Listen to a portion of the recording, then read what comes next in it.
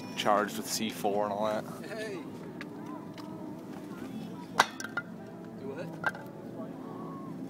That is cool looking because it's a little bit, the canopy's a little bit more integrated than the other one. The other one kind of stitched up funny looking. It's got a slicker look to it. Yeah. Look at how if he leans forward, though, he can pop his helmet on that canopy. I wonder.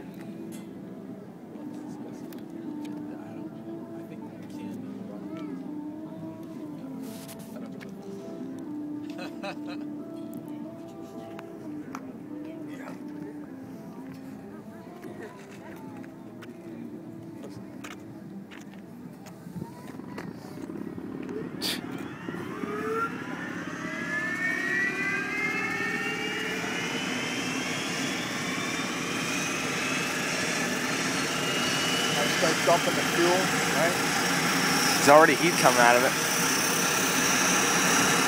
Push the fuel into the igniter.